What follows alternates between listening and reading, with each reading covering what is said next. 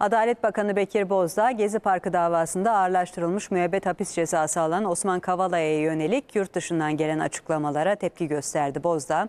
Onlar kendi işine baksın, Türkiye'nin iç işlerine karışmak Amerika Birleşik Devletleri ya da Almanya'ya düşmez dedi. Sayın Cumhurbaşkanımıza, e, yargıya ve görev yapan hakimlere dil uzatanları, el sallayanları, and içenleri, tehdit eden herkesi kınıyorum. Hukuk nasıl işleyecekse yasalarımızda bellidir.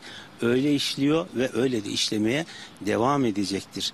Beklentilerine göre mahkemede devam eden bir yargılamayı etkilemeye teşebbüs etmek kabul edilebilir bir şey değildir. Türkiye egemen ve bağımsız bir devlettir kimsenin Türkiye'nin iç işlerine karışmaya hakkı yoktur.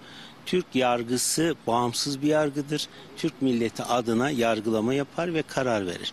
Ne Amerika Birleşik Devletleri'nin ne de başka bir ülkenin Türkiye'nin yargılamasıyla ilgili söz söylemeye hakkı yoktur. Onlar kendi işine baksınlar. Türk yargısı dışarıdan bakanların veyahut da başka ülke liderlerinin veya yöneticilerin değerlendirmelerine göre karar vermez.